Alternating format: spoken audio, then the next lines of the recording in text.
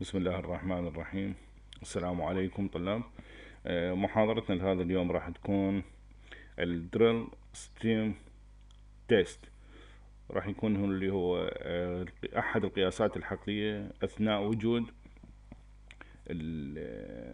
عمود الحفر حيث نقوم بإبدال الحافرة بالأجهزة الخاصة لقياس الضغط مع زمن قياس الضغط داخل البئر واحدة من القياسات الحقلية المهمة للتعرف على كثير من مواصفات الصخور وال fluid ال fluid properties وال rock properties ال DST اللي هو مختصر كلمة drill stem test is a procedure for isolating and testing the pressure permeability and productivity capacity of formation.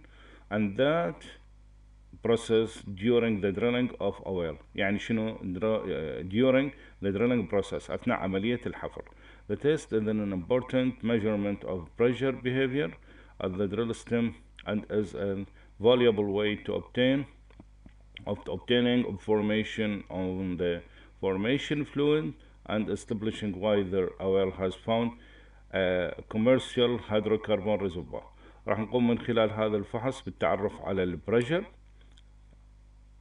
والسكن. سكن فاكتور كلش مهم راح أيضا من خلال ال DST راح نقدر نتعرف على السكن وكذلك على ال permeability ال permeability اللي هي آه، النفاذية الخاصة بالطبقة المكمنية اللي نتكلم عنها. وكذلك السكن فاكتور مقدار التضرر الطبقي اللي حصل أثناء عمليات الحفر والتسميد والإكمال آه، وكذلك أيضا نقدر نتعرف على الأهمية الاقتصادية لهذا البئر وكمية النفط اللي ممكن أن تنتج من خلاله. The main objective of DST is to evaluate the commercial viability of a zone's economic potential by identifying productivity capacity, bear mobility إلى آخره اللي تكلمنا عليها. وهذا الفحص can be performed in both open and caged hole. هنا عندنا آه، قياسات مباشرة نقدر نحصلها من خلال الدي تي اللي هي direct measurement means that the data are recorded when the tool assembly was down in the hole Those measurements include the static reservoir pressure اللي هو الضغط المكمني الأولي أو الابتدائي ال PI initial pressure وال flow rate measurement أيضا نقدر نتعرف على معدل الإنتاج اللي ممكن ننتج من خلاله آه، هذا البئر and obtaining a recovery sample of the formation fluid نقدر نحصل على fluid sample حتى نقوم بالقياسات اللزوجية وال rho وإلى آخره من القياسات اللي تتعامل مع ال fluid sample indirect measurement or empirical measurement القياسات أو القيم بطريقة غير مباشرة نقدر نحصلها are those parameters that yield from the use of equation and It includes most important the productivity index ال PI تعرفنا عليه من المحاضرات السابقة والeffective permeability of the formation to the fluid flow أيضا نقدر نحسب النفاذية لكل نوع من أنواع الفلويد اللي موجود بداخل المكمن والformation transmobility والskin factor والdrainage radius of the investigation test.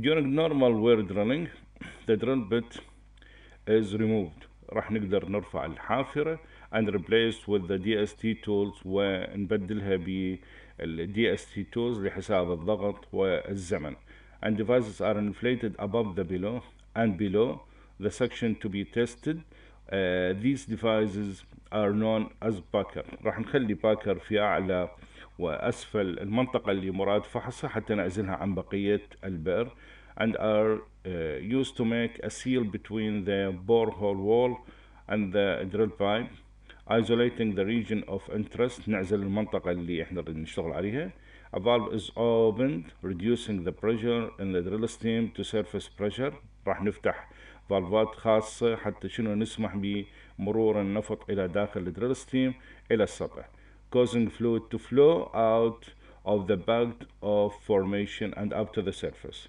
هذا هو الرسم الخاص بعملية ال DST هاي هي المنطقة اللي نريد نفحص من خلالها. راح نقوم بوضع هذا البكر above and below the formation of interest. Typical test involve the following steps. الخطوات اللي راح نتبعها لقياس التي اس تي اللي هو running the string into the whale setting the buckers. راح نقوم بنصب الباكرز above and below. راح نقوم ب initial flow اللي هو الأوبن tester valve for 15 minutes. بعد ذلك initial shutting closed tester valve for 30 minutes.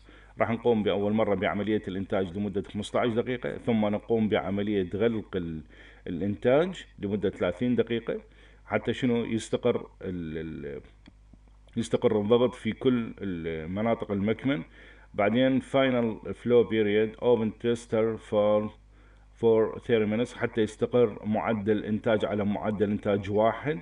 بعد ذلك نقوم بعملية الإغلاق الأخيرة. Final shutdown close the tester valve for 60 minutes حتى نسجل من خلال قياسات الضغط مع الزمن.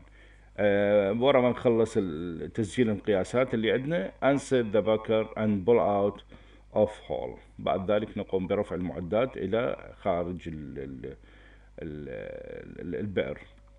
القياسات اللي ممكن إنه تسجل sample of devices recording time with the pressure. مثل ما تشوفون هنا راح يقوم بعملية الترقيم للنقطة. بعد ذلك التايم اللي قسنا به بعد مثلا مرور دقيقة أو العفو ساعة وجزء الساعة كان الضغط مقابلها 4724 بعد مرور زمن 1.2 hour نشوف إنه قيمة الضغط 4753 أي إنه ارتفعت. ليش؟ لأنه دي يصير عندنا build up للضغط. بعد مرور 1.3 hour راح نشوف إنه قيمة الضغط ازدادت إلى آخره. هاي بالنسبة لبقية القياسات اللي عندنا. أنا اللي يهمني من هذا الموضوع كله هو هذا جزء الجدول اللي هو تسجيل الزمن مع ال pressure اللي هو راح نسميه ضغط الأغلاق أو ال PWS. هنا عندنا نشوف ال steps اللي اشتغلنا عليها اللي هو ال relation بين flow rate and time عندنا هذا هنا عندنا إنتاج مع الزمن. فهنا عندنا راح نشوف إنه قيمة موجودة لل flow rate مثل ما تشوفون هنا اللي هو راح يكون ال time of production بعد ذلك حصل عندي الإغلاق هاي الخطوات اللي اشتغلنا عليها. راح نشوف إنه شتن زمن الإغلاق. بعد مرور إيش قد قيمة الضغط؟ بعد مرور ساعتين إيش قد قيمة الضغط؟ بعد مرور ثلاث ساعات اغلاق إيش قد الضغط؟ إلى آخره. هنا عندنا relation between bottom hole pressure and time. هنا راح نكون نسجل bottom hole pressure ومع أيضا time. فراح نشوف إنه قيمة الضغط فد مقدار معين. راح يصير عندي إنتاج وبالتالي راح يصير عندي آه، هبوط بالضغط. مثل ما تشوفون هنا عندي إنتاج فراح يصير هبوط بالضغط.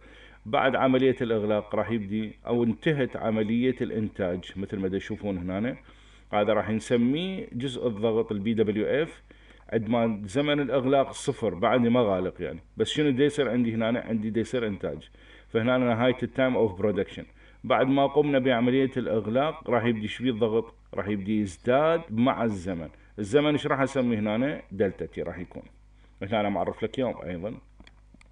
وعندما ناخذ قيم الضغط هاي قيم الضغط اللي سجلناها في وقت الإغلاق مع الزمن. هذا الزمن زائدا ال time of production over delta t زمن الإغلاق. راح نشوف إنه الشكل آه، عندما نرسم على semi-log هذا هو الشكل. شنو ال semi-log معناته نرسم هنا على محور عادي أما بالنسبة لهنا راح تكون محور آه، لوغاريتمي وراح نشرح عليه أيضا من خلال الأمثلة اللي راح تجينا أيضا. شكرا جزيلا طلاب.